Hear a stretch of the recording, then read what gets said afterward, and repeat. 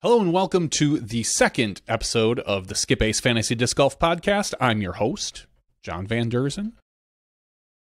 Once again, you're probably hearing this in the Smashbox feed. This will probably be the last episode that I put out on the Smashbox feed. Everything else is going to go to the SkipAce feed. So if you're interested in subscribing to that one, please go and do that. You can find it under any of the podcasting apps. Just look up SkipAce or SkipAce Fantasy Disc Golf. It'll show right up, I promise. So we're here on episode two. We're going to do a quick recap of Waco, not so much talking about the results because that could take forever. Um, instead, what we're going to do is we're going to recap my picks. My MPO picks last week were Cale Leiviska, Charlie Moore, and Eric Oakley. Now, Cale, that's a for sure win. He once again finished in the top 10. He's like a 1030 rated player maybe 1029. So you really got some good bang for your buck there because I believe he was the 20th highest rated player. So he went 10 spots above where his rating was. Ultimately, that's what you're looking for. Uh, the other pick I had was Charlie Moore. Charlie Moore, I, he took 52nd place. So I was hoping for a little higher, but his he, it was above his rating. So he was just a little bit better than, you know, where he kind of averaged out. So I'm going to call that one a slight win for me. There were actually only three other players above him that had a lower rating. So ultimately, you got really good value for him. So again, I'm going to give myself the win on that one. And then there was Eric Oakley. Eric Oakley was my other my pick. He finished 35th place, just barely above his rating and his position in general. So I'm calling that one a push. You didn't lose anything. You didn't really gain anything on it. So Eric Oakley 35th. So two wins and a push. That's what I'm I'm rating myself. Last week I told you to stay away from some players as well for Waco. And the players I told you to stay away from were Ricky Wysocki, and Ricky didn't even compete. We said, you know, if you picked him, I hope you changed it. I, I message out there on Facebook alerting everybody of the players that, you know, were no shows. So if you're not a member of the Facebook group, please go ahead and take a look. I think there's a link in SkipAce, so you can kind of take a look at that. I said stay away from Double G. And Double G finished 68th place. No brainer. Another W for John. I, but if you picked him, that was maybe a loss for you. And my third and final pick to stay away from was Kevin Jones. Wow. I think I took the big fat L there. KJ was super solid this week. He played very, very well. He was in it up until the end. I didn't expect that. So really, I'm going to take the loss on that one. What a what a that was a bad pick on my part. Kevin Jones, congratulations. He hadn't finished well at Waco in the past, but he turns it around this year. Went LVC to Waco. What a great play. Um, we'll move on to my FPO picks for Waco. I had three of them as well Paige Shue, Madison Walker, Caroline Henderson. Paige Shue ended up in eighth place. No one finished higher than her with a lower rating than her. So, again, good bang for your buck with your ratings points. Those are the type of players that you want to be able to have on your team. Madison Walker finished 27th place, pretty much right at her rating. Um, I'm going to kind of consider that one a loss. You could have gotten better bang for your buck. You could have gotten a better deal with your ratings points if you would have gone with someone other than Madison. Now, Madison finished okay, like I said, right about where her rating is. But if you're looking at it from a fantasy perspective, I'm going to take the L on that one. And then Caroline Henderson, she had a disastrous first round. She was put on that lead card with Paige Pierce, Kristin Tattar, and one other player who I can't remember right now. But she folded. Not only did she fold, she left the building. She just turned her cards in. Um, ultimately, she she performed very poorly in the first round. But the upside, she shot two. Their next two rounds were each 50 points above her rating. She ended up in 29th. So I'm going to say that's a slight win because with as low of a rating as she had to finish 29th, just behind Madison Walker, uh, I, I still think you got pretty good value for Caroline Henderson. Now, the FPO players that I told you to stay away from. I told you to stay away from Holyn Handley, And I told you to stay away from Ella Hansen. a win and a loss. Holland was a big disappointment this uh, this event based on where her rating was. She is something like the 10th or 9th or 11th highest rated player out there, and she finished well below that. She needed to finish about 13 spots higher in order for her to just kind of break even. My big loss was Ella Hansen. Wow, did I pick this one wrong? Ella came out and absolutely crushed it. I expected somewhere from a 10th to 15th, maybe even a 20th place, uh, based on how Ella normally throws and the, the Waco course. She just absolutely nailed it. She took second place. You know, coming down to that 18th hole, uh, just those nerves, the nerves got to her, and ultimately she took second place. And I that's a big, fat, wrong call on my part. So I'm here to fess up. Every week, I'm going to give you some picks. I'm going to tell you how those picks turned out, and I'm going to try to be honest with myself if they were good or bad. And again, the Kevin Jones and the Ella Hansen, two bad picks on my part. But I had more wins than losses this week, so count on that. All right, let's talk about the Open at Austin presented by Lone Star Discs. Lone Star Discs is coincidentally the sponsor of our pro member event matchup that's right. They're giving us a $100 gift certificate to their store this week. So if you are a pro member, go out and sign up for that event matchup. If not, man, what are you waiting for? It's only $10 for the entire year, and we're only two events in. So we have the rest of the Elite Series, the majors. You've got a lot of chances. Get in on that. There's plenty of prizes yet to be had. The Open at Austin is the newest event on the DGPT Tour, so this is going to be a little more difficult because there's really no history to go off of.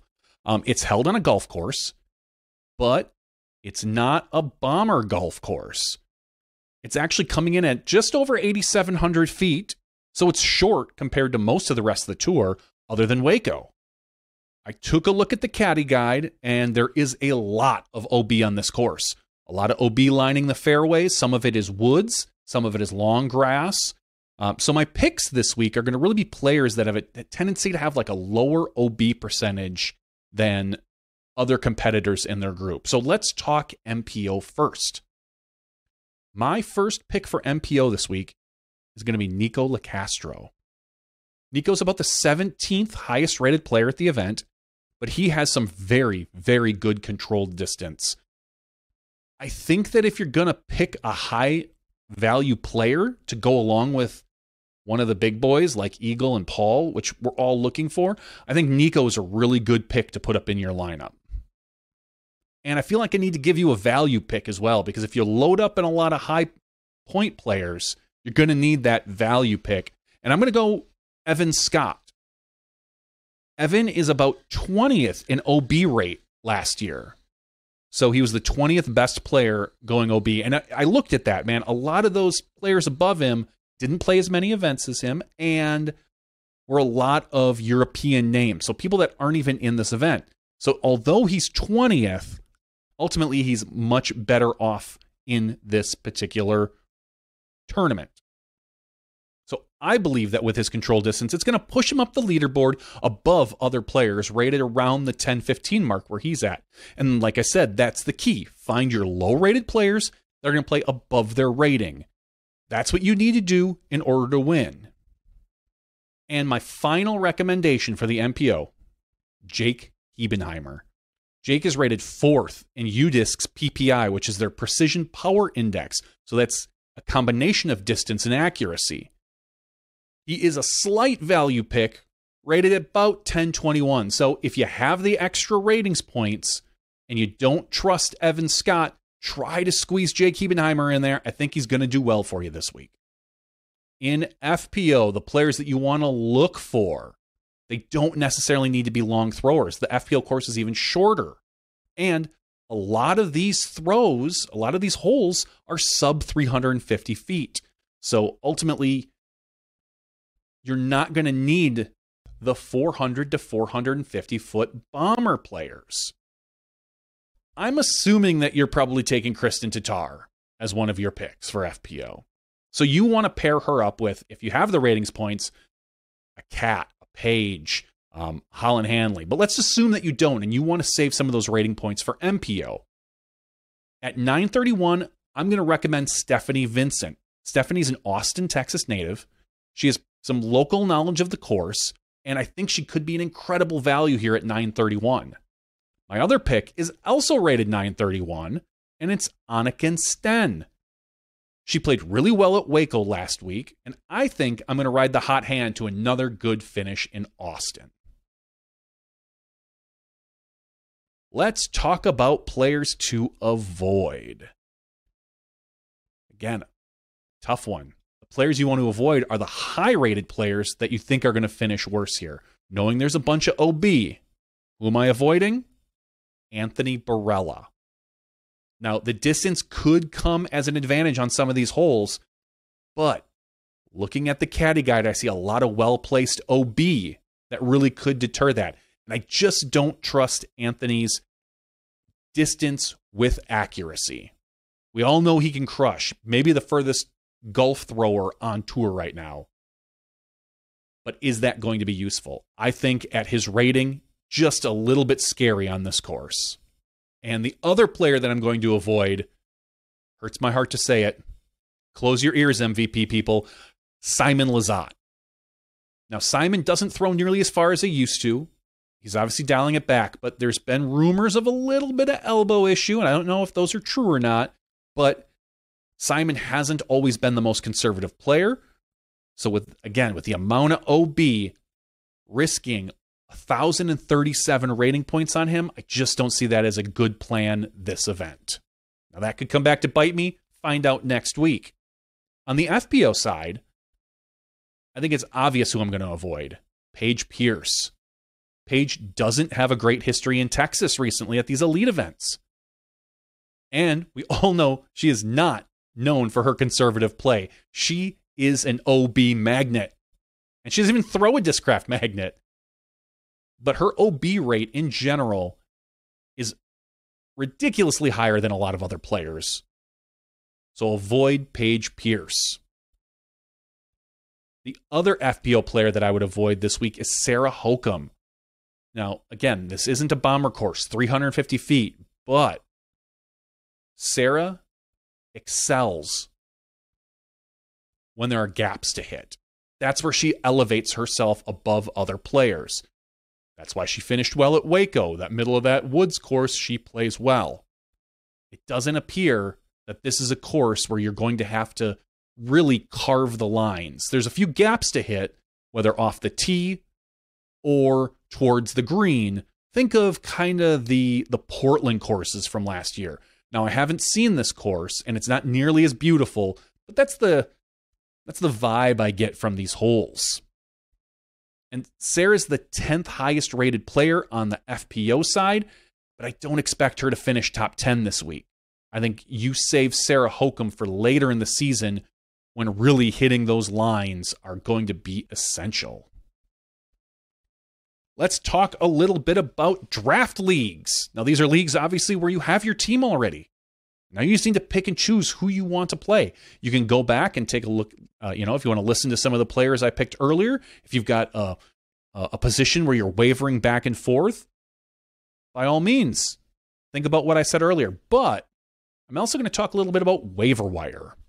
Now the waivers run, hmm, probably last night, but these players are still out there, go and pick them up. So let's look at MPO. James Proctor. Proctor's only owned in 51% of leagues right now. What are you people doing? Go out and grab him right now if he's on the if he's on your free agency or if you're listening to this tonight yet and he's on the waiver wire, make a claim for him. James has been playing really well at these DGPT events lately and I don't foresee that stopping. And your waiver wire pick for FPO? Aria Castruita. Aria could be a really solid pickup this week while we're in Texas. This is her home state. Aria just took 16th at Waco, beating out many of the people you probably have on your team. Uh, Holyn Handley, Rebecca Cox, Maria Oliva, Madison Walker. I don't think anyone would blame you if you picked up Aria Castruita and either stashed her on your bench or I think she's an okay start this week, depending on how the rest of your team looks. So those are the two picks, if they're out on your waiver wire, that I would take a look at. That's James Proctor and Aria Castruita. Let's talk about Survivor, not the CBS show, your Survivor picks. Now, Survivor is tough because none of us really know this course that well. There's no history on it. I'm really, you know, you're probably picking. This is where I recommend picking one of the studs. Go with your Ricky if he plays. Although Ricky might be scary still with the wrist. We don't know what's going to happen. He could have to pull out halfway through the event. You might want to save Ricky. But I have faith in Eagle, Paul, KJ, Calvin, Dickerson. But those are obvious picks. Everyone, anyone can make those picks. Let's talk about maybe some of the players you're not thinking of. Maybe you want to save those players for later. The picks that I would look at this week for a Survivor Isaac Robinson, Scott Withers, and here's my here's my stretch. This is a risky one. So only pull this one out if you're really desperate. Ezra Aderhold.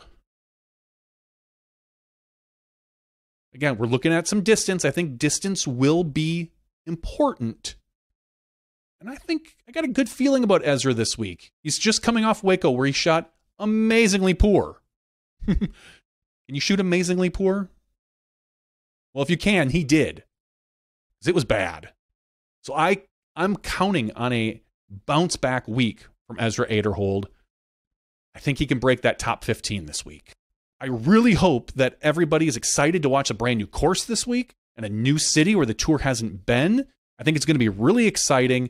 And remember, don't forget to sign up the SkipAce Pro to get access to the Open at Austin event for pro members only and get yourself a chance at that Lone Star Discs $100 gift certificate. Once again, shout out to Lone Star Discs for stepping up with a $100 gift certificate to our pro members. Can't thank them enough. Signing off, you can expect these hopefully every Monday right before an Elite Series event. Thank you and good night.